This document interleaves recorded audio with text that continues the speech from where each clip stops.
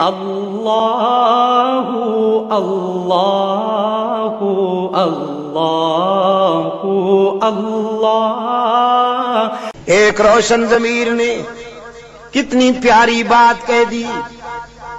फरमाया, चुते गेला बदस्तारी बिया तन्हा चे गमदारी। चुते गेला बदस्तारी बिया तन्हा चे गमदारी। मजाओ अज गैर हक यारी के लाफत्ता इल्लाहू।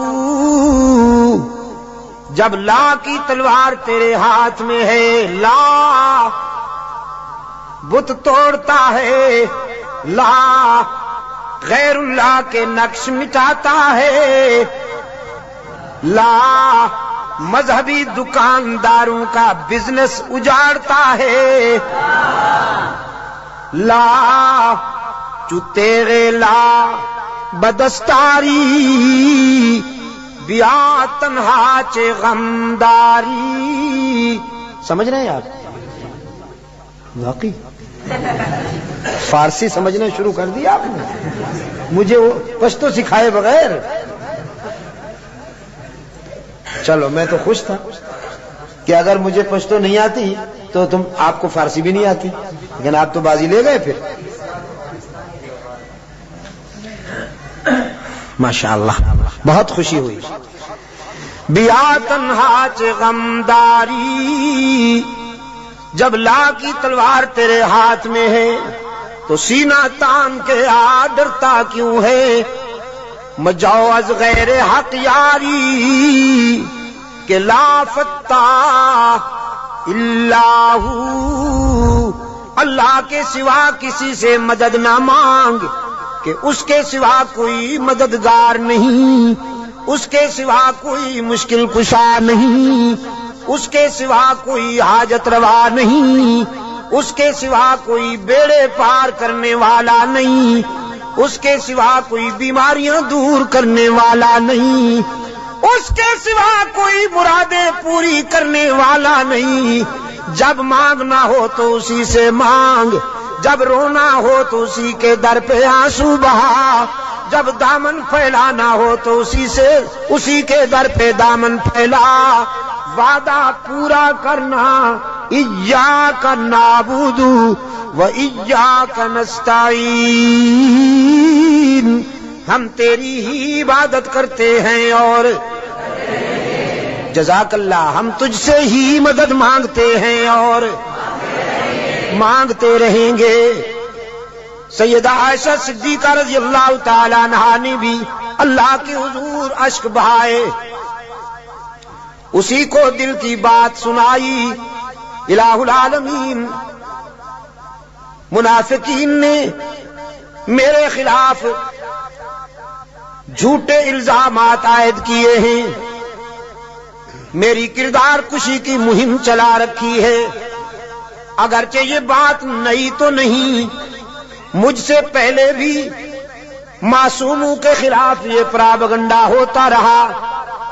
लेकिन जब मूसा पर इल्ज़ाम लगा तो तूने उनकी बरात का एहतमाम किया। जब यूसुफ पर इल्ज़ाम लगा तो तूने उनकी बरात का भी एहतमाम किया। जब मरियम पर इल्ज़ाम लगा तो तूने उनकी बरात का भी एहतमाम किया। मेरे महबूब आज तेरे महबूब की ऐसा अश्क बार आई है। और ये फैसला करके आई हूँ। जब तक मेरी बरात का एहतमाम नहीं होगा, तेरे दर से सर नहीं उठाऊँगी। सजदे से सर नहीं उठाऊँगी। किसी और के दर पे नहीं जाऊँगी। तुझसे ही मदद मांगती हूँ। तुझसे ही दर्द दिल कहती हूँ। रो रही है। सैयदा आयशा सिद्दीका रज़ी अल्लाह तला किसके आगे? उसी के आगे रोया करो। उसी के आगे अश्क बहाया करो। उसी के हुजूर दामन फैलाया करो। सारी उम्मीदें उसी से वाबस्ता किया करो कि उसके सिवा दामन भरने वाला कोई नहीं। दामन खाली करने वाले बहुत भरने वाला कौन? दामन, खाली करने वाले बहुत बैठे हुए हैं फनकार। झंडियाँ लहरा रही हैं। जुल्फे जा रही हैं। चादरें ओढ़ी हुई, कब्रें सजाई हुई, झंडियाँ लहराई हुई। चादर ओढ़े हुए बैठे हैं। जैसे आसमान से उतरी हुई चीज़ हो गई और सादा लो इंसान उसे कहते हैं, कुछ लेके आओगे तो कुछ लेके जाओगे। खाली हाथ आओगे तो खाली हाथ जाओगे। लेकिन इसके दरे रहमत से सदा आती है कुछ न लेके आओ, सब कुछ लेके जाओ। खाली हाथ आओ, दामन भर के जाओ। काला रब्बुकुम उदूनी अस्तजिब लकुम। इन्नल्लज़ीन यस्तकबिरूना अन इबादती। सयदखुलून जहन्नम दाखिरीन। दुनिया वालों से मांगा जाए तो नाराज़ होते हैं, ना मांगा जाए तो खुश होते हैं। लेकिन ये दाता वो है कि ये मांगने वालों से खुश होता है, ना मांगने वालों से नाराज़ होता है। इन लजीना यस्तकबिरून अन इबादती। यहाँ मुफसरीन ने लिखा है, इबादती से मुराद है जो मुझे पुकारने में गुरेज करते हैं। क्योंकि पुकारना इबादत है। पुकारना पीरा मदद कर। शिरक की तस के की तस शिरक की तस क्योंकि पुकार इबादत है। पुकार काला रब्बुकुम उदूनी अस्तजिब लकुम। तुम्हारा रब कहता है मुझे पुकारा करो, मैं तुम्हारी दुआओं को कबूल करने वाला हूँ। उदूनी अस्तजिब लकुम, मुझे पुकारा करो, मैं तुम्हारी दुआओं को कबूल करने वाला हूँ। उदूनी इन लजीन यस्तकबिरून अन इबादती, यकीनन वो लोग जो मुझे पुकारने में गुरेज करते हैं। मुझसे मांगने में गुरेज करते हैं। सैयद खुलून जहन्नम दाखिरीन। जलील होकर मुँह के बल घसीट कर जहन्नम में डाला जाएगा उन्हें। तो किसे पुकारा जाए मुश्किलात में? कादिर को या अब्दुल कादिर को?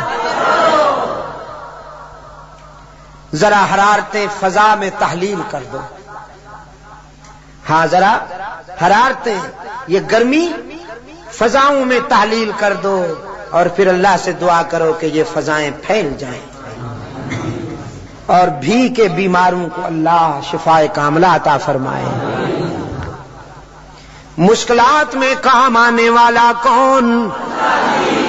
रोशन जमीर ने कहा, ना मजाओ, अज गैर हक यारी के लाफता इल्लाहू यकीदानम दरियालम किला मसजूद। इल्लाहू वला माबूद फिल कौने नो, ला मौजूद। इल्लाहू कोई माने या न माने, लेकिन मेरा तो ईमान है। कि उसके सिवा पूरी कायनात में कोई मसजूद नहीं।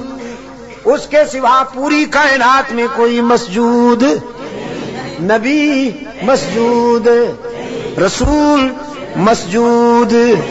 तो फिर कामा वाली सरकार कैसे मसजूद हो गई? सुबहान अल्लाह। कुरान करीम में जगह जगह पर फ़िक्र इंसानी को मुतवजे किया गया है कि न्याजमंदियाँ अपनी ज़मीन की न्याजमंदियाँ अल्लाह के लिए वक्फ करनी होंगी। फरमाया, लानल्लाहुल व नसारा। अल्लाह के रसूल सल्लल्लाहु अलैहि वसल्लम ने फरमाया, यहूदियों पर, नसरानियों पर अल्लाह की लानत क्यों? इत्तखजू कबूर अंबिया मसाजिदा, कि उन्होंने नबियों की कब्रों को सजदागाह बना दिया। नबी की शान ज़्यादा होती है या वली की? नबी की शान ज़्यादा है ना वली से? जो नबियों की कब्रों का सजदा करें, उन पर तो अल्लाह के रसूल ने लानत भेजी है। और जो वलियों की कब्रों को सजदागाह बना ले, उन पर हाँ। जजाक अल्लाह यही बात है। ये आशिक बने फिरते हैं। नबियों और रसूलों की कब्रों पर सजदा करने वाले मलून तो वलियों की कब्रों पर सजदा करने वाले डबल मलून डबल मलून डब अच्छा। ट्रेबल इंसानी जबीन की आजियों के लिए हकीकी मसजूद कौन? हर जगह मौजूद कौन? माबूद कौन? कार साजो दस्तगीर कौन? हाजत रवाओ मुश्किल कुशा कौन? सैयदा ऐसा सिद्दीका रज़ी अल्लाह तला ने आँसू बहाए हैं अल्लाह के दर पर। दर्द दिल सुनाया है अलीम बिजात सुदूर को। सूरह नूर आई। कल्ब रसूल पर वही की सदाकत चमकी। फरमाया, अल खबीसातु लिल खबीसीना, वल खबीसूना लिल खबीसाती व तयबातु लित्तयीबीना व तयबूना लित्तयबाती उलाइका मुबर्रऊन मिम्मा यकूलून। लहुम मगफिरतुन व रिज़्कुन करीम। पाकबाज बीवियाँ, पाकबाज शोहरों के लिए गंदी बीवियाँ। गंदे शोहरों के लिए पाकबाज शोहर, पाकबाज बीवियों के लिए गंदे शौहर। गंदी बीवियों के लिए कुरान है।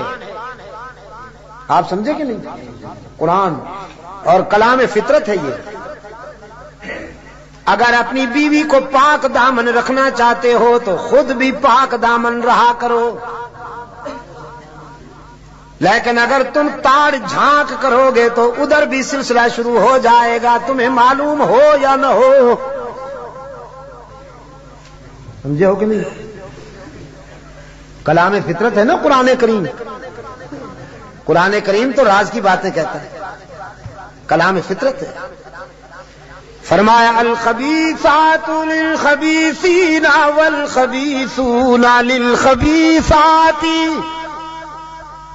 नापाक बीवियाँ नापाक शोहरों के लिए, नापाक शोहर, नापाक बीवियों के लिए।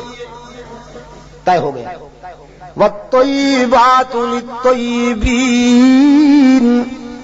पाकबाज बीवियाँ, पाकबाज शोहरों के लिए। वत्तयीबून लित्तयीबात और पाकबाज शोहर, पाकबाज बीवियों के लिए। रब्बुल आलमीन ने जरा के लेजे में सैयदा आयशा की विकालत करते हुए वाजह किया। जिसने इस अफीफा के किरदार को समझना हो, आयशा की अजमत को समझना हो, वो आयशा के शोहर की इसमत का नज़ारा करे, जिसका शोहर मोहम्मद मासूम, वो बीवी कैसे ना महफूज मोहम्मद मासूम है, आयशा महफूज है। जरा के अंदाज में रब्बुल आलमीन ने बरात की उलाइका मुबर्रऊन मिम्मा यकूलून। मैं ऐलान करता हूँ कि पैगंबर की आबरू बेदाग है, नबी की आबरू का दामन पाक है। आप मेरे लिए और मैं आपके लिए अल्लाह के हुजूर इल्तजा कर दें कि अल्लाह दुनिया और आखिरत की कामयाबियों से हम किनारे